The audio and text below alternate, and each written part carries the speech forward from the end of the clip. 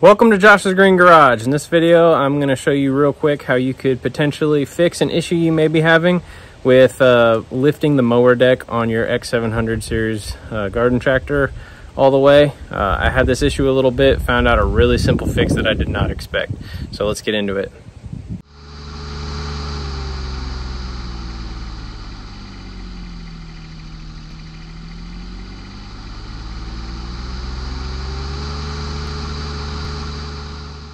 All right, so please excuse me a little bit today. It's a little bit windy.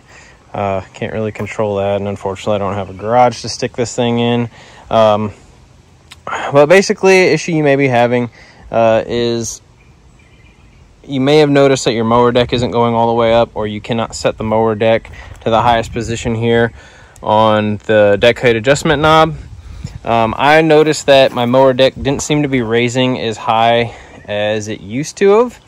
Um, and then I also noticed that back here on the three point, um, when you turn that there, there's a, probably hard to see it, but there's a, you can see it right at the tip of my finger.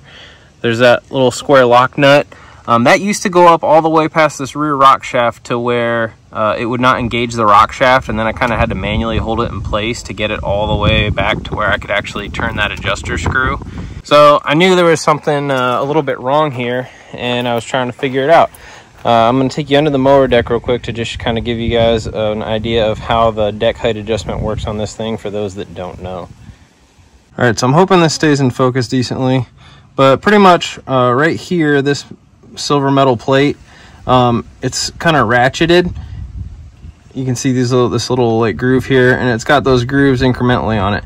Well, this is the what's on the other side of that deck height adjustment knob, and essentially this piece of metal right here kind of has a hook on the end where my finger is and that uh, moves with the rock shaft and basically when you turn this it changes the amount of space in between that adjustment and the rock shaft to where it can move so there's a lot of space there when you're on a real low position so this can go all the way forward as much as possible or if you have it lifted all the way up um, there's going to be very little space there and it's going to hold, lock and hold against it.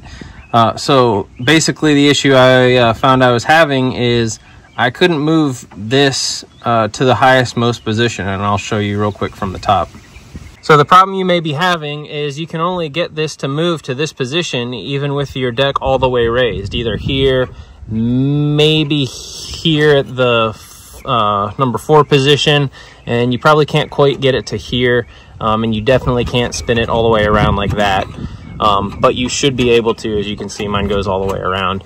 Um, so, you know, this should freely move. I mean, there's a little bit of, you know, pressure you got to exert on it, but it shouldn't bind at all. You shouldn't have to really crank on it, and you shouldn't have to force it.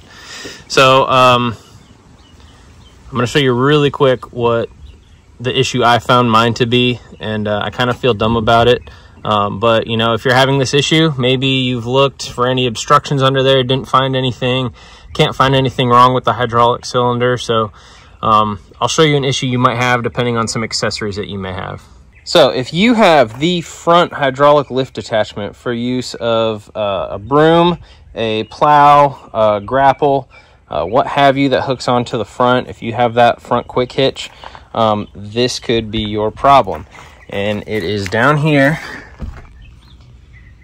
underneath the SCV your uh, your uh, shutoff valve there for the for the hydraulics for the deck hydraulics. Um, I found that I had mine all the way uh, closed, so screwed all the way in. And I thought, huh, I wonder if it has something to do with that. And I thought I had changed it from when I was using my uh, quick hitch last.